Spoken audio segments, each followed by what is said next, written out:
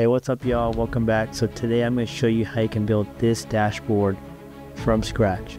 Stay tuned. So as you already know, there's like a thousand ways you can really build reports and dashboards within Power BI, right?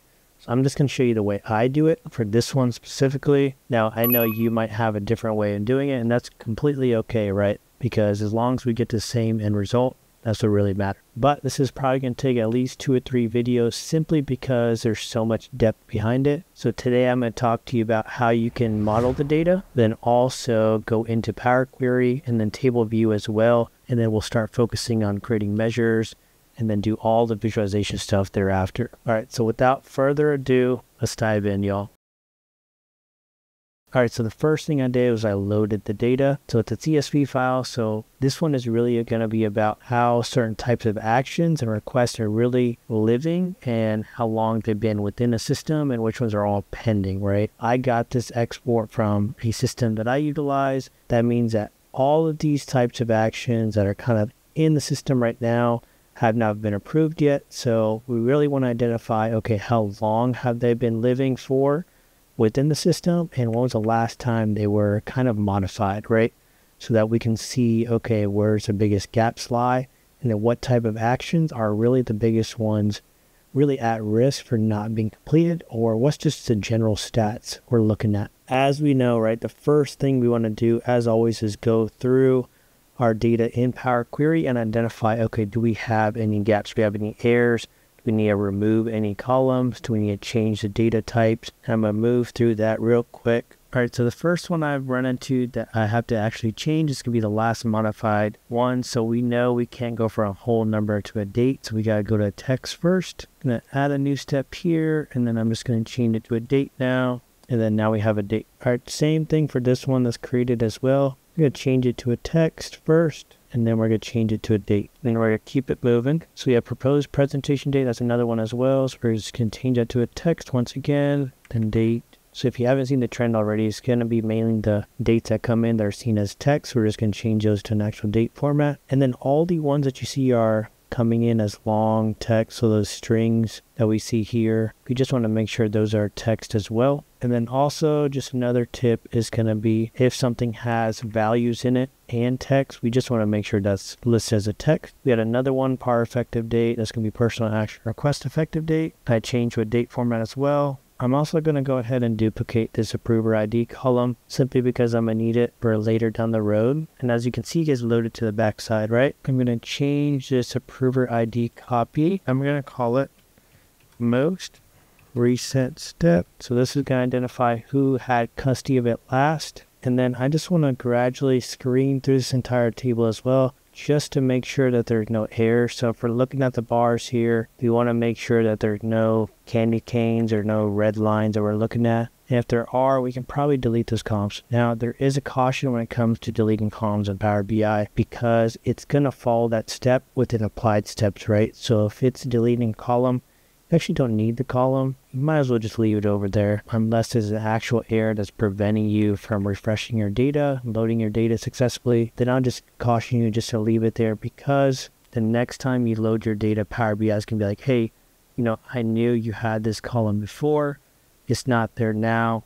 You know, what's the deal? Let's just say, for instance, the data set changes and you no longer have that column available. It's going to be looking for that column again every single time unless you go in here and applied steps and change it. And you can, right? As a developer, you can always do that. But for me, it's just easier to just go ahead and leave those columns I actually don't need. I probably don't even need, you know, about 80% of the columns that are here right now, but I'm not going to go here and sit here and just delete all these columns because it's really unnecessary. All right, so what I'm going to do is I'm going to hit close and apply real quick. All right, so now it's telling me I do have some errors. So I know this column always returns some errors. So what I'm going to do is I'm going to go back to the source data itself within Power Query at least. And I'm just going to go ahead and delete that column because I have no use for it. I'm going to go ahead and delete this group and go back to Workflow Analytics. I'll find this column here and I'm just going to delete it. And we're going to run this again. And now this time we had no errors, right? So we're good there. So all our data within Power Query at least is transformed. So now we can go into the model view, create those relationships, and then I'll go into table view real quick. All right, so what I'm going to do is I'm going to create a relationship between the workflow analytics and my table here, my UIC table. So this is going to be basically the organizational level of slicers that I want to utilize. So I want to be able to pinpoint down to lowest echelon.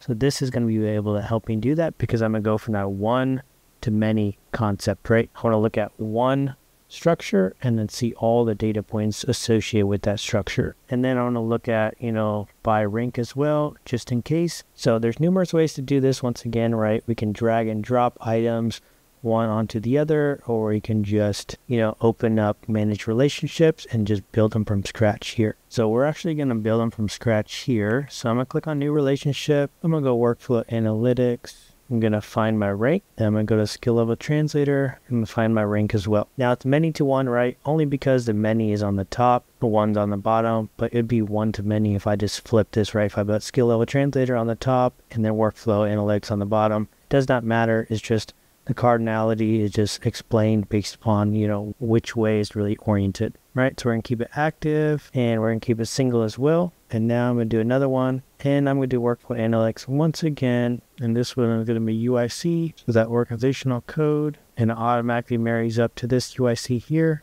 And we're going to press save. So that's a many to one as well. And now we have our two relationships. All right, so we got two of the first three steps kind of knocked out, right? We have Power Query done, we have Model Viewer done. Now we're going to go to table view. We're going to create our custom columns that we need before we start diving into creating calculations, all those different measures that we need, and then creating all our visualizations, okay? All right, so the first thing that we're to do here is we're going to look for all our dates.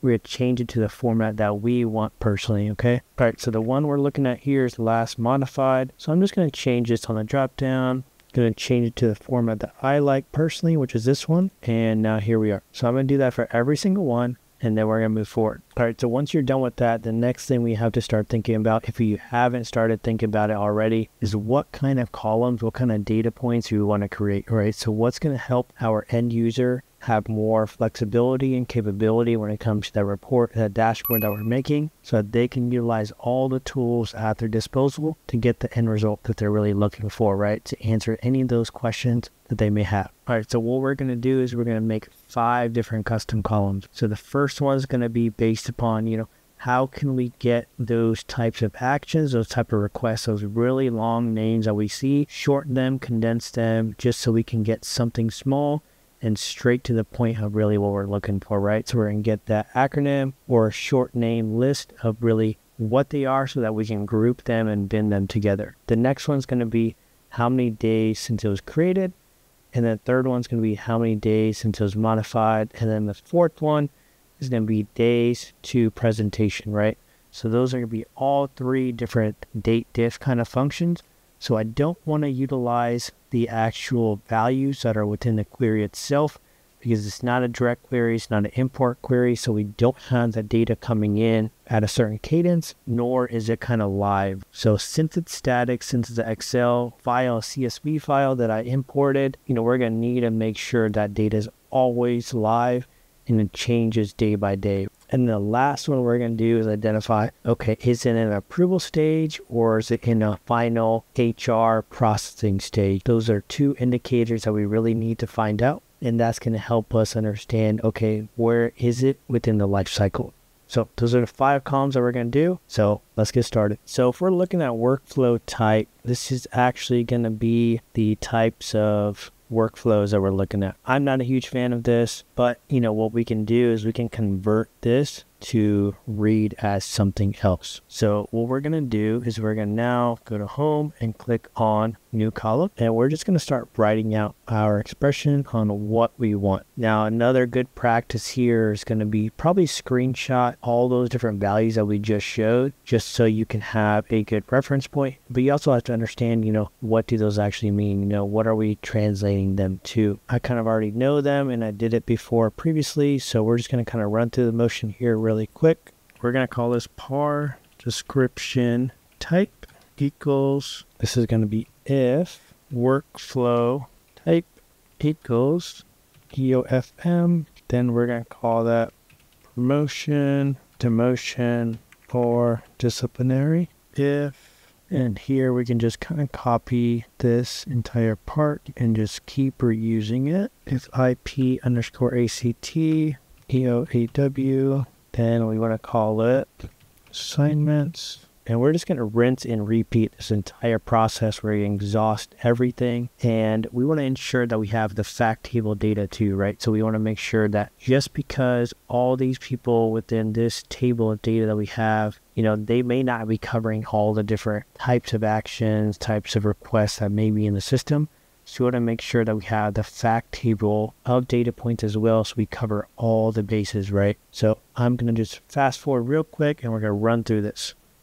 All right, so once we're done typing it all out, this is what it's going to look like. We have all our different steps in here for every different type of transaction that may be in the system, and we're just changing the name, right? Something that's easier to read. I'm not a fan of underscores. I understand why systems need to have underscores in them, but if we're talking about reading data in terms on the front end for those end users, they're not going to want to see that kind of stuff. So this is what we translate it to. And then anything that is not listed here is going to be listed as other. We know that all of our data is caught because we got everything that's from the fact table, right? So we went to our system, our source within the system that we get our data from, and we found out where all the fact table data is. But we know that if an other is ever present within our data, we know, hey, you have to go back into it and identify, okay, what was added, what was modified, so that we can you know, update Power BI as well. But once we're done with that, we're just going to go ahead and run this real quick. So within Power BI, every single time we create a custom column, we always want to ensure that if it's an if statement, especially, you know, we're creating conditions, we want to make sure that we're validating what we're doing, right? So we don't see a value as other. So that's good. So we know every single thing was caught here. There's no blank as well. There's no other, you know, everything is cool. So we're good. We can move forward with the next column. All right. So we're going to call this one days since created. We're going to say equals. We're going to say date diff. and We're going to say created. So it's going to be the created date. We're going to say today and day. So this is going to tell me how many days since today has been created for. We're going to run that. And we can see a lot of these values are pretty long. So we have some that are going past 100, 200, 300. I mean, this is insane, right? We're going to keep doing that for other columns as well. So we're going to call this days since modified equals date diff. We're going to do last modified, to today, and then day. We're going to close that. You can see how many days since it was last touched, updated, modified. So some of them weren't even modified ever. They've just been kind of sitting. You can see that just by looking at the two dates side by side, right? We got a lot of them that are actually like that, unfortunately. All right, so the next one we're looking at is going to be for awards specifically. So there's awards that are presented. So there's a presentation date tied to the award, right? So we want to ensure that the awards are completed prior to the presentation date. So that's going to, you know, raise a red flag immediately if it's not. So if we're getting too close to that period, we know there's something that we need to do to ensure that there's some sort of movement and traction on that type of request. So we're going to say days to presentation equals, this is going to be if search. So we're going to search for a text, right? So we're going to find the text first. So what do we want to find first? We're going to say award. So it's a text and we identified that because there's a double quotation. We're going to put a comma now it's going to ask us where is that text at that you're looking at. So we're going to do par description type. So it's actually the column that we made. So we're bouncing off that one now. We're going to say start position one, not found value zero. We're going to close that zero, date, diff, today, propose presentation date, day, blank.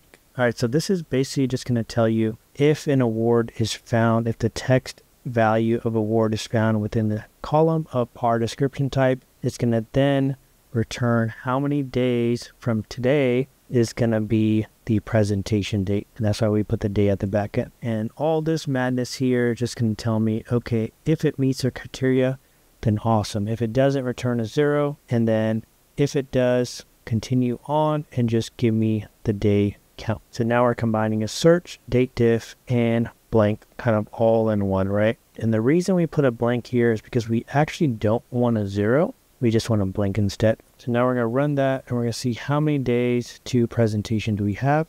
And we can see a lot of them are actually negative values, right? So that means those days have already passed. And that's fine. That's not a big deal because we know that the data is actually correct. So the last column that we're going to build out and then we're going to pause there is going to be where is the actual status of the PAR? So the actual request of the action, is it in the approval stage or is it, you know, completed? Is it sitting with HR now? So that's what we want to identify. So we're going to say status result. You can call this whatever you want as well.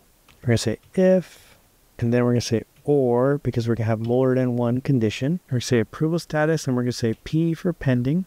And then approval status again is blank. Then return me approval chain. So this is going to signify that it's still within the approval process because it's pending. So that I want to return approval chain now.